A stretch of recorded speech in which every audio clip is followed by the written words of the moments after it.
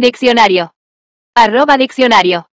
La colaboración, en un sentido general, se refiere al acto de trabajar de manera conjunta con otras personas o grupos para alcanzar un objetivo compartido. Implica la cooperación, el intercambio de ideas, conocimientos y recursos, y la coordinación de esfuerzos hacia una meta común. La colaboración es fundamental en muchos ámbitos, como en el trabajo, la ciencia, la educación o el arte, ya que permite combinar diversas perspectivas y habilidades, lo que suele resultar en soluciones más creativas y efectivas que las alcanzadas de manera individual.